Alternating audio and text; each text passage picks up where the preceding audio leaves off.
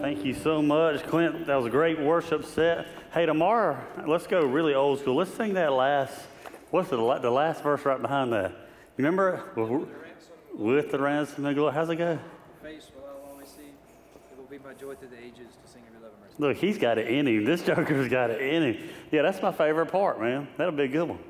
Let's do it. Let's do it. Let's come back out and do it again. I'm kidding. I'm so glad to see you guys here tonight. Hey, thought I'd start off with something funny that'll kind of dovetail right into the um, subject tonight. My son Elijah, he's like the subject of a lot of my illustrations. Reason is my daughter's perfect and he's not, and so that's why you don't hear me talk about her a lot. Um, it's just perfection, you know what I mean? Um, but my son Elijah, he's on the autism spectrum. He's he's ADD and all the other stuff. He keeps us going. He is um, he, he he's scared to go upstairs because his room's dark. I wouldn't use the word scared because, you know, he's a big kid. So he's, let's find another word, he's terrified to go upstairs and um, uh, by himself especially. And um, so the other morning I got up before him and I, have got a room on the same uh, level as, as his upstairs. But um, I've got a little, little space on the other side of the hall. So his room's over here, my room's over here. And it's got some set of steps that goes up to a little bitty room that I use to, to pray in. So I'm on the bottom step. I'm sitting on the bottom step there. And I knew he had slept on the couch the night before. And I'm sitting on the bottom step because before I get into the presence of God uh, in my little prayer room up there, I always stop on the first step, sit down, and I'll think about the day before and say, hey, is there anything that I need to examine in myself? Is there anything that I need to ask forgiveness of, or do I need to get right of, or repent of before getting along with God? So I don't take another step until I do that, which is a good principle for us. So I'm sitting there, I don't know, two, three, four hours, something like that repenting. I'm. And uh, I'm kidding. I'm there a few minutes and I hear, hear him downstairs. He says, hey, Daddy, Daddy. And he don't know that I'm behind the door. I'm on the same level over there behind the door. Daddy. And so I said, uh, yeah, Bubs. Yeah, the moment I say that, he knows I'm upstairs. I mean, he's flying up them stairs. You ain't never heard anybody go so fast up the stairs. It's, I'm like, golly. And then I, it just stops. And I'm on the other side of the door, and I knew exactly what it was because he had walked over there, and there's his room, dark. In his imagination, there's no telling what size monster is in there, you know what I'm saying? Because we don't know. We don't know if there's a monster in there or not. You don't know. I don't know. We say there's not, but there might be. No one has ever seen it. And so he stops there at the bed, and I knew it because I'm on the other side of the door, but I'm hearing it. So I know what he's doing. He's stretching as far as he can just flick it. Just flick the light, you know, get some illumination up in here. And so I'm laughing. I'm sitting on the steps of there. And I open the door. I said, Hey, buddy. And he turns around. And I know what he thinks I'm going to say because I say this all the time. Stop being a sissy and go into your room and get your school clothes. Now, if you think that's harsh, guess what? You can raise your kids however you want to raise them.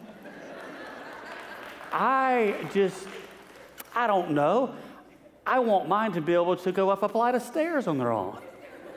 I mean, fast forward this thing 25 years from now, he's going for the big promotion.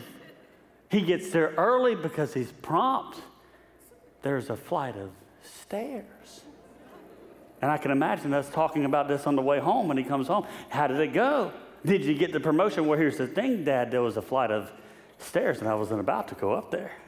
You know what I mean? We got to knock this stuff out now. And so he turns around, he looks at me like, oh, here he goes with the get in there, you sissy. Don't be a sissy, put your school clothes on. And I open the door, I said, hey, buddy. And his hair turns around. His hair's like this, y'all. Looks like Doc off of Back to the Future. And he turns around I said, um, you want daddy to go in that dark place with you? Yeah. I mean, you could just see him. Yeah. So I walk over there. I said, you want, you want daddy to go to this dark place with you? Oh, yeah. So then it's just like all, he's just relaxed. All his fears in the whole world go away. We go in there, we get his clothes. We only kill one monster. It wasn't that bad, it was a little one. And he, he takes off leaving, and before he leaves, before I flick the light back off, I look and there's a little bitty speck of glass shining right on the ladder before his bunk bed, right there at the bottom, where he climbs up every night. So I pick it up and I walk back up into my quiet time and I'm laughing because I said he wasn't expecting me to go in there with him. And boy, ain't that something how his whole body just, when, I, when, when he saw me come over there, when I grabbed his hand, his whole body just, we're, we're good. And I picked that speck up and I actually should have brought it tonight, but I, I keep it in my quiet time because it dawned on me when I sat down. I thought, isn't that interesting? Um, he would have stepped on that in that dark place just a few hours later that night when we told him to go, he, and it would have injured him. But just like God does with us, he goes before us and removes stuff that would harm us if we run to him. And I sat down and I thought, man, we all run to something, don't we? Don't, don't, don't act like I'm the only one in the room. When we're up under pressure, when we have adversity, when life turns us on our head, so to speak, when the unexpected happens to us, when we lose the job, when we get the call that we've lost a loved one, when these things happen and the pressure begins to amount up, we all run to something. We do. We run to, to, to, to the wrong people sometimes. We run to the wrong places. We run to the bottle. We run to the pills. We all run somewhere. For some of us, we run back. We run back to familiar things or people or places because they're familiar. And there's something good that feels about familiar because we know it, right? But familiar is not always healthy. But all of us run to something or someone or something when we have pressure in our lives, when we have adversity in our lives. The question, though, is where do you run? where do you run when the pressure comes? Where do you run when, when adversity comes? When life turn, makes a turn that you did not see coming? Where do you go? And for the story of David, as we pick back up in the story today, we see David doing something that all of us do it sometimes under pressure. We see David, the man of God, running. We see him running. He's up under pressure, he's in fear for his life. Things are going good up until this point, but he kills a giant, marries the king's daughter, and his whole life turns upside down. And now David is a man on the run, and his father in law is the king who has all the power in the world. And his father in law is jealous. He's enraged. He's throwing spears. And this is where the story picks back up for us tonight. He had just thrown not the first, not the second, but the third spear at your boy David. and here's where it picks up it says, So David fled and escaped that night. What's fled and escaped? That means he's running. He's, he, he's running. Verse 11 says, So Saul also sent messengers to David's house. So after he flees from the spear, he sends messengers to his house to watch him, to kill him in the morning. And you thought your father in law was bad. you thought your mother in law was bad. I mean, look at David. And Michal, David's wife, told him, saying, if you do not save yourself tonight, your life tonight, tomorrow you will be killed. Verse 12 says, So Michal let David down through a window, and he went and he fled and he escaped. Second time, we see him running. The pressure comes, the adversity comes, the unexpected comes, and he flees and he escapes and he's running.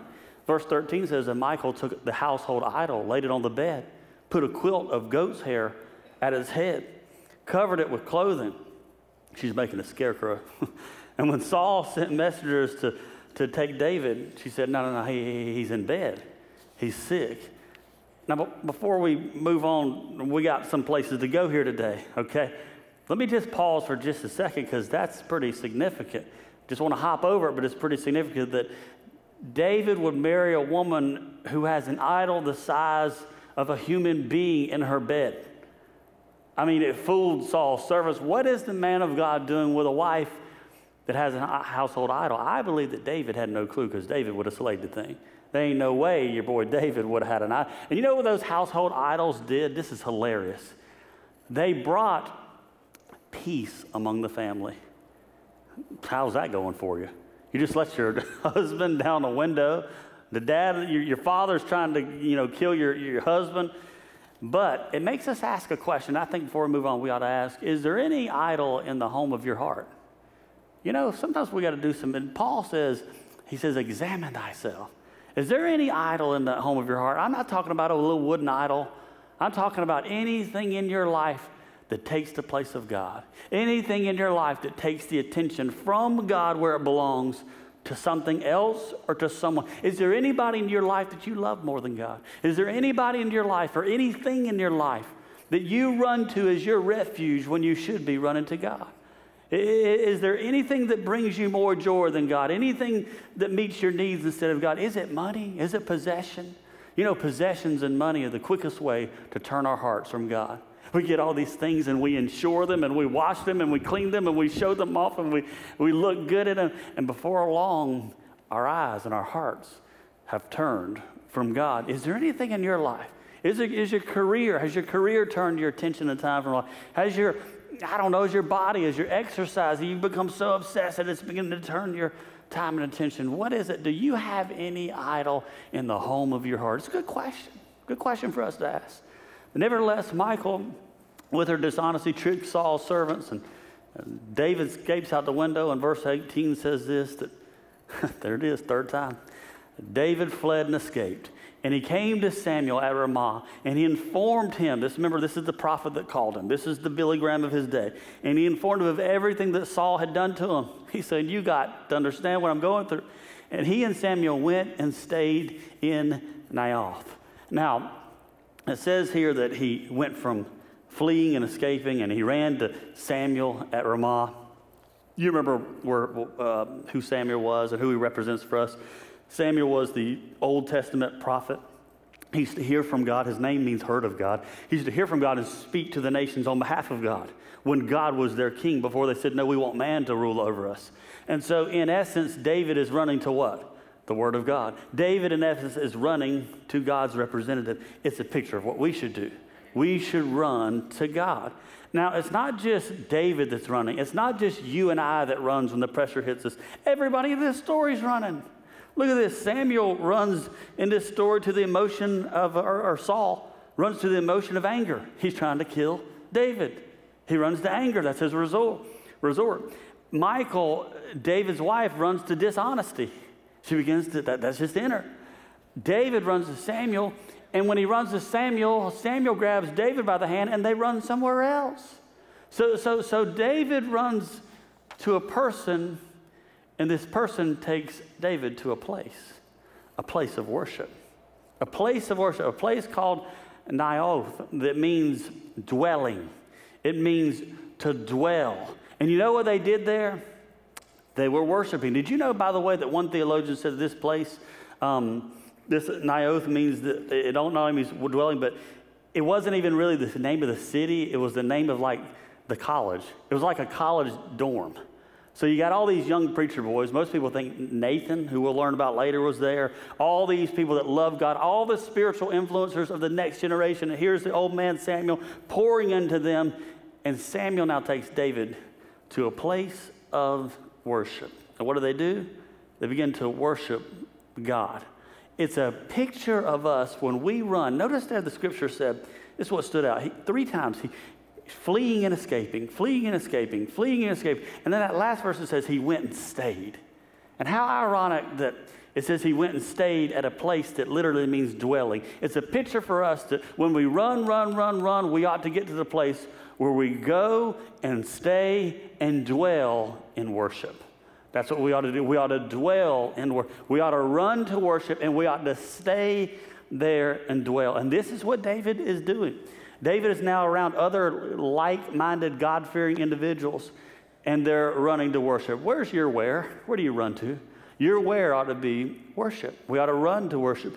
When you decide, like David, not to run back to the place that's harmful, the person that's harmful, the substance of this, that when you decide to run to God and worship, when you're up under pressure, what happens? Well, we're going to find out in this story. Okay, let's jump in back into it. Verse 19. It says, Now it was told Saul saying, so they told Saul saying, take note, David is uh, in Naioth and um, in Ramah. And then uh, Saul sent messengers to take David. So he's saying, hey, I need you to go get him. I need you to go bring him back. I want to harm David.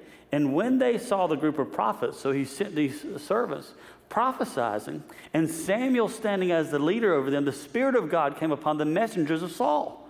And they also began prophesying. Now, what's that mean? You know what that means? It means prophesizing means uttering with a loud voice praises of God. In our terms, it would mean worshiping. These messengers sent to harm David were sent by Saul to go grab David, to go kill David. They show up, and what are they having? They're having a church service. And boy, is it a church service. They had never experienced anything like this. Here is Samuel, I mean, the man, the aged prophet leading in God's word and leading them in worship, and they start to come to harm David, and they think, man, it's kind of awkward to jump in now. I mean, they're kind of in the middle of worship. We'll let that one song roll, and then we'll, we'll get him. There he is right there. We got him spot now. So they let the run, one song roll and it starts to, you know, starts to do something. So, man, it feels funny inside. You know what I mean? Like, just, just like this song that they rolled right into. They didn't do a bridge. They rolled right into that thing. Man, we'll just stay for this song. And they stay for this song. And the next song, next song, before they know it, they're, they're on the ground worshiping. I mean, they're just laid out worshiping God. And these are the ones that were supposed to come to home. They came with intent of war, and now they're worshiping. And, and, Saul's frustrated. Where are they at? These are my boys. I don't see David. I don't see a head of David. Guys, come, come on, come on, come on back. He brings some more people. He says, I want you to go finish what them bozos couldn't do. Go get David. Go, go. And so he sends him. And it says, verse 21, that um, when Saul was told, he sent other messengers. And they prophesied too. They, they saw the same worship experience. They showed up. What are, what are they doing? Idiots. They were posted, and now we're here doing our job. Dang, that's a good tune. Dang. Oh, wow. Never been anywhere like this. And the Spirit of God starts hitting them. Before you know, they're worshiping too. Saul is hot. He's red hot. those of you who got employees and you just tell them a simple, something simple to do. This is not rocket science. Do this, and they don't do it, and it drives you crazy. My pet peeve is repeating myself. I hate repeating myself. I've got the staff now, they record me because I don't want to repeat myself. I just press rewind. I don't have a lot of pet peeves. Leaving the light on and repeating. Those are the only two I got. I don't want to repeat. And Saul's hot. He's red hot. 21 says this, and for a third time, Saul sent messengers. And they show up. And they, same thing. Can you imagine an environment so filled with the Spirit of God, with so many people worshiping and loving God and singing God, so many people enjoying God, God's uh, presence, that the presence of God falls on the enemies. Can you imagine a church where we have such a lifestyle of worship that when people come in here, I go, golly, I may be a skeptic, but I'm, I'm a, they got something I don't got. You are the temple of the Holy Spirit. You are the church. Can you imagine your work, your environment, the gym? When people get around you and you have a lifestyle of worship, they feel something different. Even your enemies, even those who are still enemies of God, still trapped in their sin, begin to go, they, they got something that I want. I'll lean in and listen to them because they got something that I don't have. And maybe they don't show it on the exterior, but on the inside, they go, they got something that I want. This is what's happening. Now Saul's hot. He's, he ain't happy. And he says, I'll do it myself. I'll do it my, you ever done that? I'll do it myself. You get tired of, you get tired of when you just, I'll do, my, uh, my, my wife's side of the family is this. They are do-it-yourself people. I don't want, don't want to ask for nobody help. I'll just do it myself. My father-in-law owns a wedding uh, place. If you're local, it's Macon's place. It is the best place. I don't have no, uh, I need 10% off of that, but um, I just endorse you. But he's a do it yourself person. The other week, there's like 300 chairs out there. We asked him three times, hey, I'll come, I'll come for church. I'll come help you get them chairs. Uh, he had two weddings back to back. I'll come, I'll come help you. Okay, okay. That night, I hear my wife, we'll come help you, Daddy. Just let me know what time. We'll slide up there. Okay, okay. Well, we go for lunch and I never heard from them. When I'm going to lunch on Sunday, I stayed up till 2 in the morning doing them chairs. I asked you. Three times I gave you a lifeline. I'll help you. He's just a do-it-yourself person. That's what we're going to do. My wife's the same way. She moved a Christmas box the other day. I swear to you, I thought it had a body in it. I said, Where did this one come from? She said, This is the one I put up all by myself last year because you weren't around. Ouch. This one's so heavy, I'll make sure I'm not around this year, right? Saul's in this spot. He says, I'll do it myself. I'll do it. I'll do it myself. They can't do it. I'll go grab David. And everybody's going to know I'm coming because I'm the king. I got the robe. I got the. crown. When I come walking into town, you going to know you should have just done your job. And here's where it happens. Verse 22, it says, Then Saul also went to Ramah, and he came to the great well uh, that is in, say, who? So he asked, he starts asking people and says, Where are Sam, Samuel and David? And I bet this struck some fear into people when the king is coming along saying, Where, Where's Samuel? Where's David? Let's talk. And someone said, uh, Hey, they're right over there. Indeed, they're at Naioth in, uh, in Ramah. So he went there to Naioth and Ramah. Then the Spirit of God was upon him also. Hmm. And he went on and he prophesied until he came to Naioth and Ramah. He didn't even make it to the church service. The, the Spirit of God was so heavy upon those godly men and women there worshiping, was so heavy that after the well, he begins worshiping God on the way. On the way. That's a word for somebody. You don't know where you're going or what God's doing in your life, but you need to worship on the way. You don't know how it's going to turn out. You, you, you don't know do I turn, take left? Do I take right? Do I date them? Do I not? Do I do this? Do I do not? Just worship on the way. Just worship on the way. Saul now is, is the Spirit of God has fallen on him, and he's worshiping on the way, and he begins to strip out of his clothes. He, here's the king dropping his royal robe, and people are walking by going, That was a nice robe about a quarter of a mile back there. Did that, was that the king's robe? And now he's, he's coming out of his clothes and he's beginning to, to, to worship God. Verse 24 says, It says, He stripped off all his clothes and prophesied before Samuel in like manner. He laid down. So now he's laying down naked all day and all night. Therefore, they say, people were coming by saying, Is this Saul among the prophets? He had stripped down from his royal robe, taken off his crown, taken off his shoes. He stripped down to, in today's time, his t shirt and his boxers.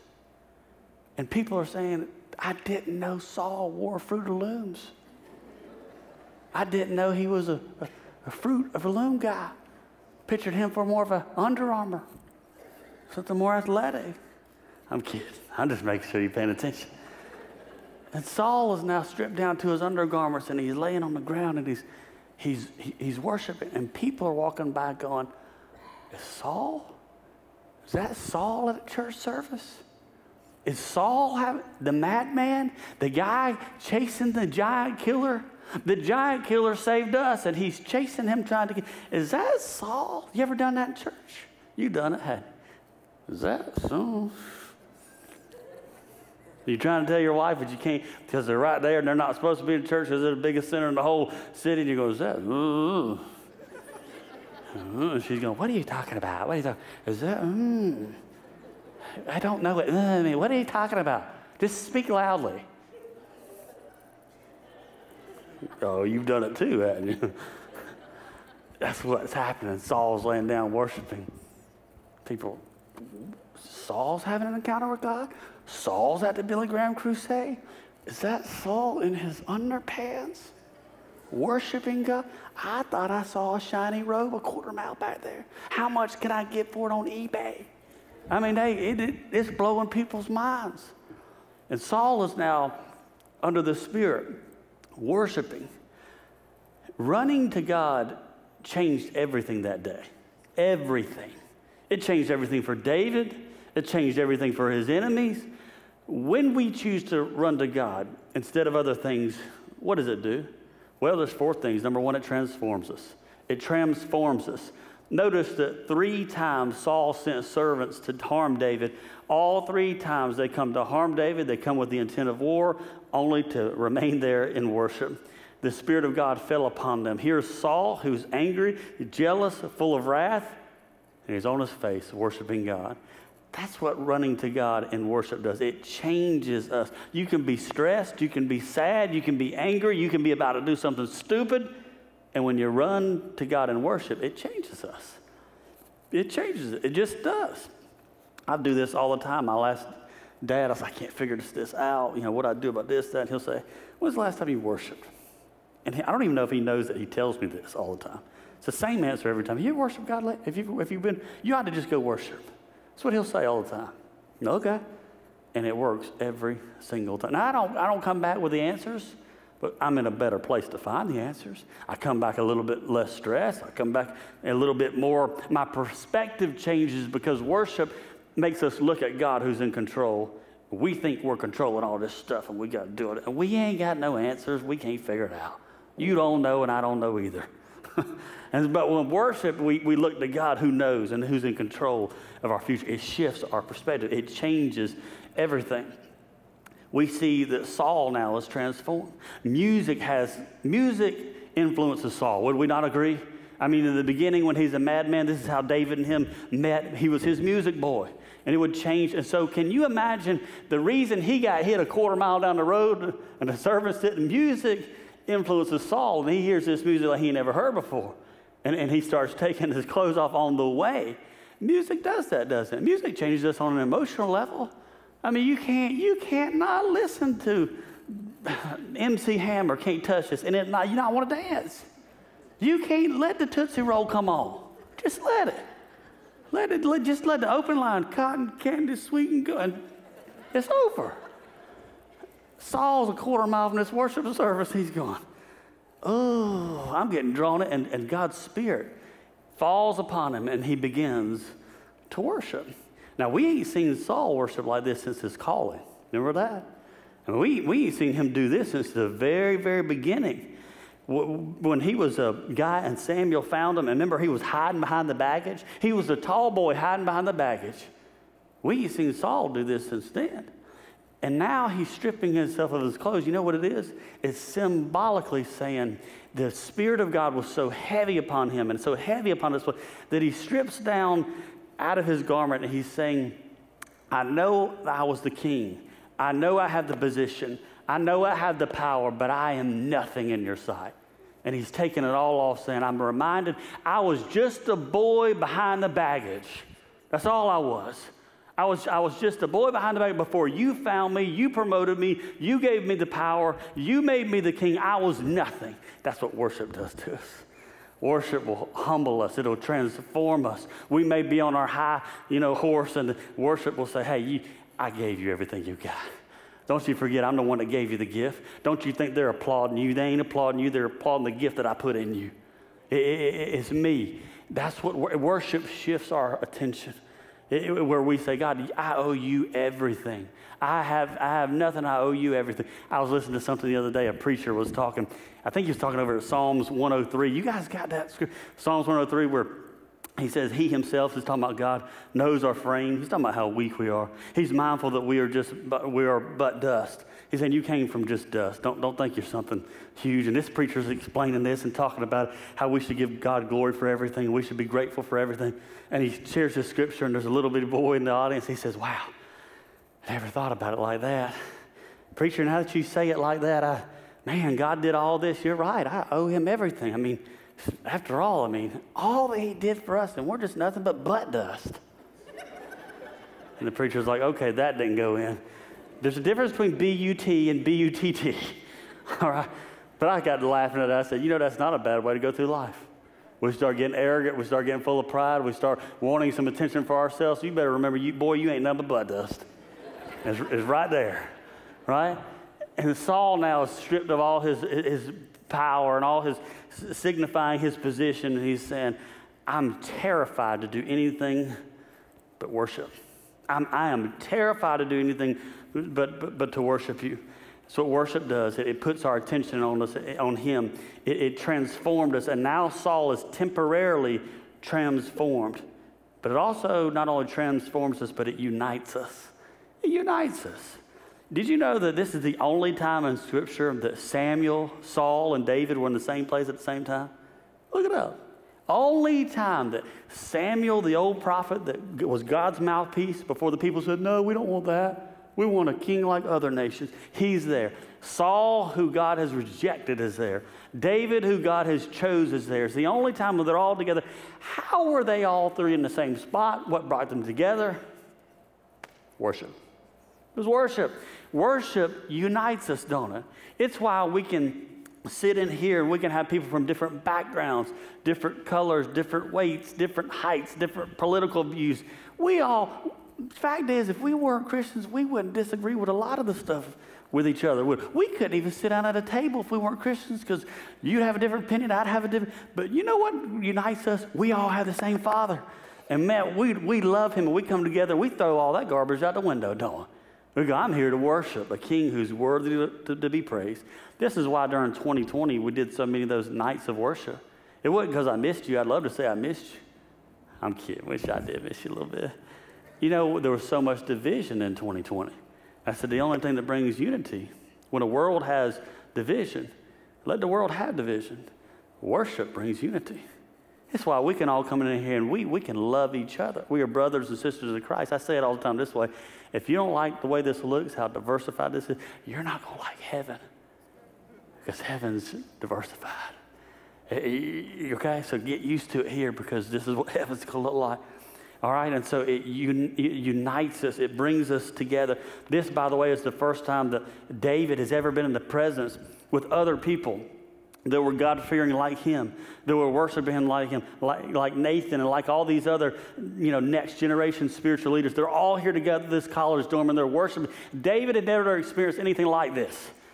David is used to worshiping privately in the pasture. This is David's first view of public worship. Do you know that? This is where his passion came for public worship. Later, we'd see it when he brought the ark back. Where did it start? Right here around all these preacher boys that love God. He said, This is great. My goodness, I mean, it's been fantastic, me privately worship, but this is great. And this is where his enthusiasm came when he was united with other believers who were worshiping. So, worship transforms us when we run to it, worship unites us when we run to it, but worship also protects us. It protects us. The enemy that day was Saul and Saul's servants, but notice it was worship that stopped the enemy's plans from being able to touch God's man. It was worship. Not a one of them laid a hand on David that day. They knew where he was, but in the words of the philosopher M.C. Hammer, they can't touch this. They couldn't touch him. Was worship that stopped them. It was worship that, that, that, stopped them from being able to do the wickedness in their heart that they wanted to do. You know that there's an enemy after you. Maybe he's not running after you with spears and servants, but you got you an enemy. You, you, you, got an enemy that wants to destroy your life. See, you've got your plan for your life, God's plan for your life, and the enemy's plan for your life.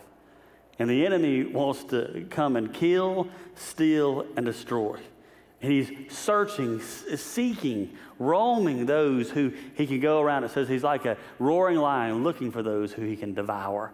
You know how he comes and how he wants to hurt us? It's called the three D's, is what I always, I always categorize in this way. He wants to distract us from our mission, from our purpose, or, or from whatever, God's love. He wants to discourage us and He wants to divide us. He wants to divide us from each other so that we do not have peace among relationship. Remember, He comes to kill, steal, and destroy. He's stolen peace. He wants to distract you, maybe by something that's not your mission, or maybe by thinking you've got to earn your way for God to love you when God loves you unconditionally. God already knows everything you've done, everything you will do, yet He loves you. Maybe He wants to do that. Or he wants to come and he wants to discourage us by stealing our joy, by stealing our peace. You remember the guy in the Bible that had all those demons in him and he was in the graveyard and Jesus came? What if this guy was absolutely miserable? He was cutting himself, he was in torment. He had had all these things, what? Stolen from him joy, peace, all. The enemy wants to do the same thing to you. He comes to distract us, discourage us, divide us. But worship protects us. Worship protects. Remember what we looked at a couple weeks ago. Keep your sight on Jesus if you want to keep your song. Don't lose your song. Keep your hand on the harp. You know that I think it's funny. This is hilarious. That, that Michal, David's wife, didn't go with him. she left him. She, she, I mean, I think it shows a lot about her and her foundation. Maybe this is where Saul, you know, where, where Saul, we kind of see a little bit of his spiritual foundation as well. Maybe it rubbed off on Michal because she said, I ain't going but you.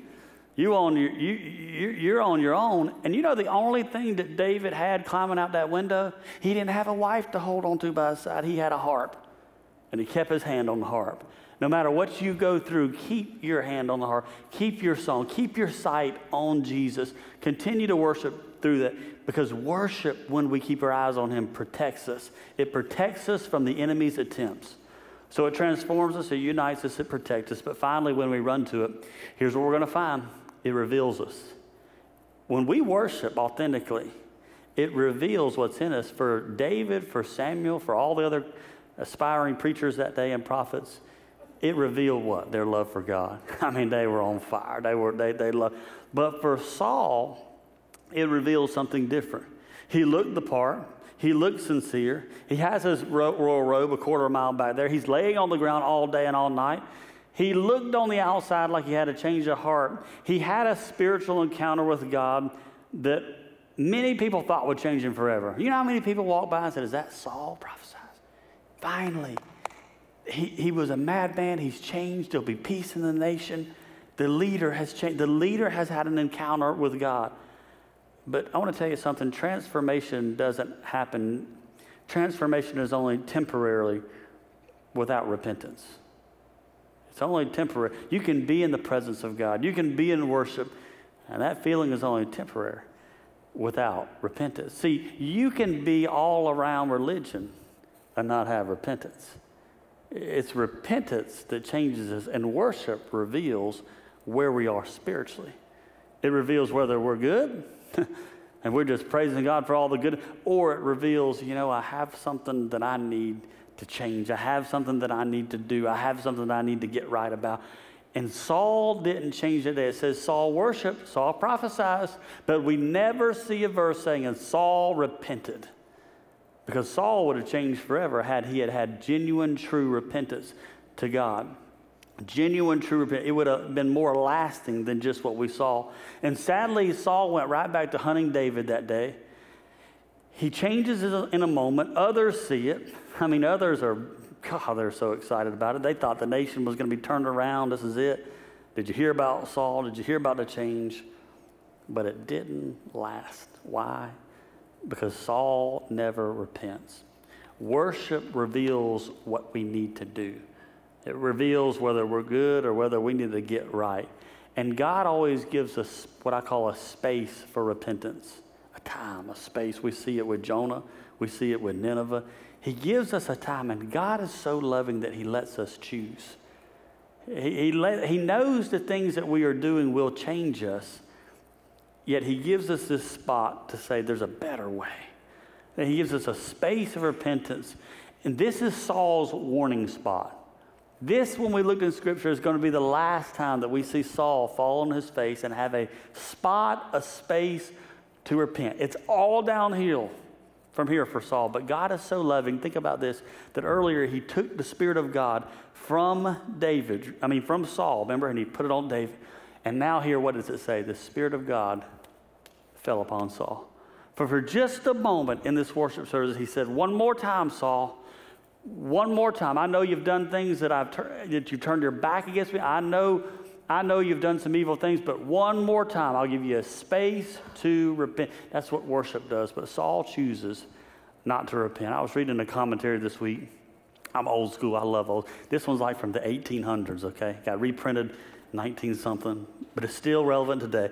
Does not God, in His merciful providence, often deal with the transgressors as He dealt with Saul, placing them in circumstances that make it comparatively easy for them to turn from their sins and change their life? Harden not your hearts.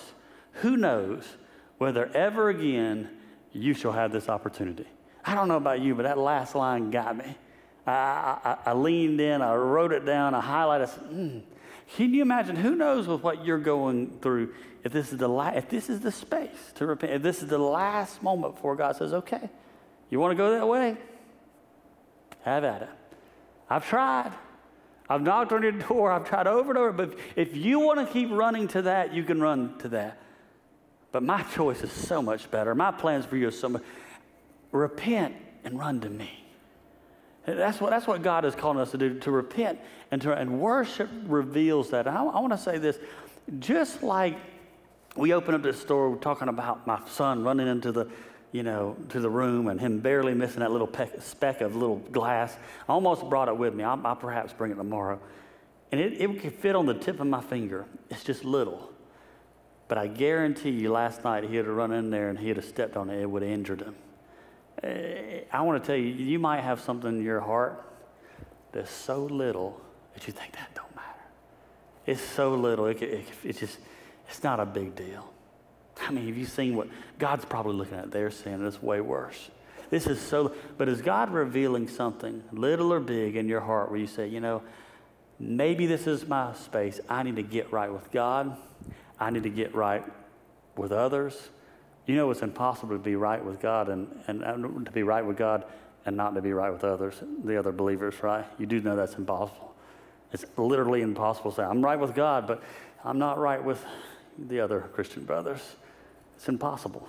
If you're wrong with the other believers and other Christians, you can't be right with God. And so, what is, what is God calling you to do? Because worship reveals what we ought to do. It transforms us, it um, protects us, it unites us, but it reveals for us what we need to do. So, what is God calling you to do this evening? What's He calling you to do? What, what is He telling you to do? And I promise you this God's always for you. If you'll just do it, just take the thinking out of you say, you know, I'm, I'm going to do it. If God's calling me to do it, if God's calling me to make it right, I'll do it. I promise you, God's plans are for you, not against you. Now, if you're here tonight for the first time, and perhaps someone brought you here, and, and uh, you said, man, that's, that's a cool story, but here's the thing uh, I don't know God. How do I worship a God I, I don't know? How do I run to Him and worship Him if I, if I don't know Him? I want to tell you how you can know Him. The most important thing that you will ever know, ever do, is make Jesus the Lord of your life. If not, everything else is just temporal. I mean, everything, every decision you make, it ain't, when you breathe your last breath, the Bible says that there's a time to be born and a time to die. Every one of us has got a date on us, okay? We got a date on our head. And here's the thing we don't know when that date, we don't know when that time comes up. So the one thing that matters is do you know Jesus as your Lord and personal Savior? Do you know where you'll spend eternity? We, isn't it funny how us human beings will spend time planning vacations, planning retirements, planning all this stuff, careers, and going to. College? We just plan and we plan and we plan. We got the calendar. We got the ever. We, we, we, we are good at planning, but no one plans for eternity. I mean, there's a world out there go, well, I'll just, you know, I don't want to think about that. That's kind of scary. No, don't, don't, don't you want to, don't you want to know that? You don't want to be the one that plans for everything else, but don't plan for eternity. Do you know where you'll spend eternity? Do you know when you breathe your last breath? When you breathe your last breath, it ain't gonna matter how many cars you got in the garage. It ain't gonna matter how many, how much money you got in the bank. It ain't gonna matter how many friends you got on Facebook. They can't help you. The only thing that matters is do I know Jesus? Have I ever repented of my sins? Realized that I'm a sinner and said, God save me, come into my heart. He made it pretty easy for us, right? I mean, He did all the work. Literally, all we've got to do is put down our pride and put our faith in God. I mean, it's there. But for many people, they think, ah, I'm going to figure it out. I'll keep going on my own. I'll get better, then I'll come to God. That's not how it works. You come just as you are, and you let Him do the changing, okay? And so if you have never come to God, I want to lead you in a, in a prayer where you can do so. Perhaps the very reason you're here, the very reason you're here is to do that. So I'm going to leave you in prayer right now. Let's go to the Lord in prayer together. Father, thank you so much for your word to us tonight, Lord. May we run to you in worship. My prayer is for that person that is sitting here right now or watching online and they don't know where they'd spend eternity. They don't know you as their Lord and Savior. But God, they want to know you. I mean, they're here, they're searching, they want to know you. Deep within their spirit, they know that you're speaking directly to them right here in this moment. I pray that you would give them courage to do what you're calling them to do. So if you'd like to have Jesus as your Lord and personal Savior, if you'd like to have heaven as your home, simply say this prayer in your heart and you believe on it with everything you got. Are you ready? Say, Father, I know that I'm a sinner, and I know that I cannot save myself. I believe that your son Jesus died on a cross for my sins. I believe that your son Jesus rose from the dead and I believe that your son Jesus is Lord. So today, the best way I know how, I ask you, God, come into my life, save me. I make you the Lord of my life. I'll never be ashamed of you. I look forward to enjoying a relationship with you. In Jesus' name I pray. Amen. Thank you so much for joining us today. If this ministry or this message has touched your life in any way, please send us your story to iam at cascadehills.com.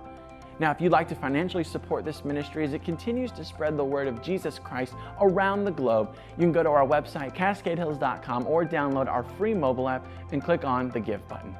We invite you to check out some of our other messages or tune in live every weekend, Saturdays at 4 or 6 p.m., or Sunday mornings at 9 and 11 a.m. Thank you so much for joining us. Have a great day.